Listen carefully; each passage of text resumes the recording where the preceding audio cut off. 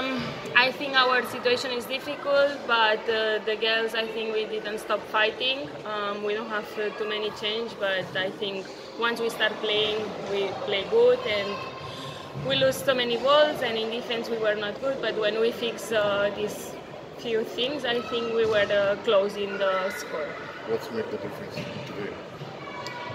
Uh, the difference is, like I said, I think we lose balls and uh, the other team start running faster than us, and uh, I don't know. We have to fix this uh, to don't lose too many balls. Everybody expect to be a holiday game today.